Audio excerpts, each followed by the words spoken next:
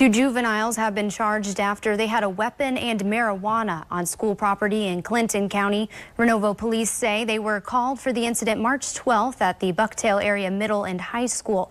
They charged an 11-year-old girl for possessing a weapon, marijuana, and drug paraphernalia with intent to deliver. They also charged a 13-year-old boy for conspiracies of possession of marijuana with intent to deliver, plus other drug charges.